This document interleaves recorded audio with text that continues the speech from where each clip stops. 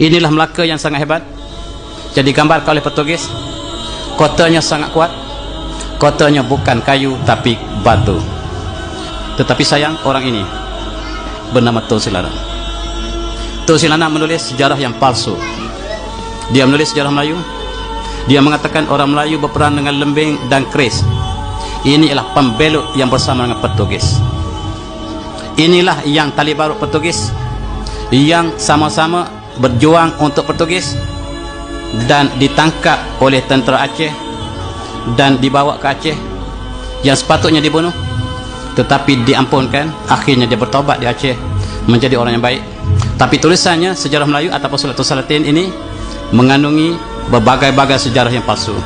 Mengatakan orang Melayu sangat lemah bodoh dan tidak ada teknologi sebab dia bercakap bagi Pak Portugis.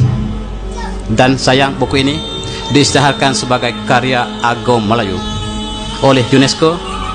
Dan itulah sebab mereka tidak akan pilih karya ini sekiranya karya ini tidak berpihak pada mereka. Lihat oleh Melaka. Kalau kapal yang dipamerkan di tepi sungai Melaka itu. Kapal siapa? kapal Portugis. Itulah pengkhianat sentiasa berada dulu, kini dan selama-lamanya. Kita lihat bagaimana apabila jatuhnya Melaka. Maka seluruh umat Islam bersatu termasuk kerajaan Aceh, kerajaan Osmaniyah datang untuk membebaskan Melaka. Tetapi pengkhianatnya ialah kerajaan Johor, Pahang, Lingga, Riau. Inilah pengkhianat yang belum dicatatkan dalam sejarah. Pahang, Johor, Lingga, Riau, inilah pengkhianat. Yang bersama dengan Portugis mempertahankan Melaka. Apabila Melaka diambil alih oleh Belanda, satu kisah yang cukup sedih berlaku. Semua ulama telah berpadu melantik orang ini namanya Raja Haji untuk menjadi komando besar seluruh alam Melayu menentang Belanda. Kita lihat dia telah terkorban syahid di Teluk Ketapang. Sebelum dia syahid dia menulis surat ini. Kita kenang apakah yang ditulis oleh dia. Dia kata pada hari ini tanggal 19 Rejab 1998 1998 Hijrah warkah ini kutulis di atas sejadah menghadap kiblat dalam keadaan berwuduk setelah selesai doa dan doa panjang untuk sekalian umat Melayu. Al-Quran di sebelah kananku. Kitab dalail akhirat di sebelah kiriku. Badik bersaka di pinggangku. Sungguh demikian aku amat menyedari bahawa terdapat di kalangan amada perang Melayu yang aku satukan. Dan PP ini terdapat golongan Melayu yang menjadi musuh dalam selimut. Berwajah Melayu berhati Belanda. Usahlah ditanya bagaimana aku mengetahui kerana tahu di angin turun naik. Apabila Allah mengenal kita jadi satu perkara maka tiada siapa yang dapat mengelaknya dia mengumpulkan seluruh tentera di Asia Tenggara untuk menentang Belanda. Tetapi dalam tentera dia dikumpul diberi rasuah oleh Belanda sehingga inilah yang disebut sebagai wajah Melayu berhati Belanda. Apabila Inggris datang ke sini berwajah Melayu berhati Inggris sejarah telah berulang ketika Portugis berwajah Melayu berhati Portugis itulah sejarah bangsa ini. Bangsa yang paling mudah dimanipulasikan oleh penjajah.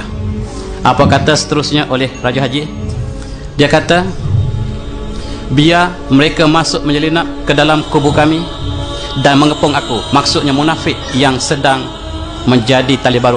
British atau Belanda datang mengepung panglima sendiri.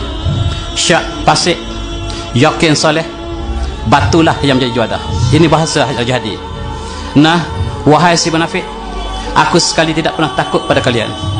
Marilah kita berdepan sebagai lelaki Melayu yang sejati. Engkau kendolah panji perjuanganmu. Aku kendong panji perjuanganku. Nyawa kita di tangan Allah. Matiku di medan perang ini tandanya sentiasalah aku hidup di sisi Allah. Matimu di medan perang tandanya celakalah kamu di akhirat nanti. Mereka berani mati sehinggalah petualang bangkit daripada sujud. Tak terkala imam dan jemaah masih bersujud. Lalu ditancam pisau di belakang antara mereka. Maka sekali lagi tidak mengundang gundah kerana apabila sudah datang janji Allah. Maka syahidlah dia. Jika ditikam itu masih hidup maka dia akan menjadi saksi si petualang itu. Ini catatan yang disebut oleh Raja Haji. Mereka bersolat sama-sama bersujud.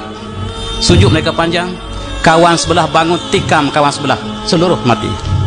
Itulah pengkhianatan yang menyebabkan Raja Haji kalah. Raja Haji sempat menulis di atas jadah menulis warakah ini. Dia kata di akhirnya sekiranya perjuangan aku ini benar wahai ilahi kekalkan tulisan aku ini. Butakanlah mata Belanda daripada melihat tulisan aku ini supaya tulisan aku ini sampai kepada seluruh orang Melayu yang datang kemudian. Barangkali perjuangannya benar. Sampai pada kita kita saya salin menunjukkan perjuangannya lah dikhianati oleh bangsa yang sendiri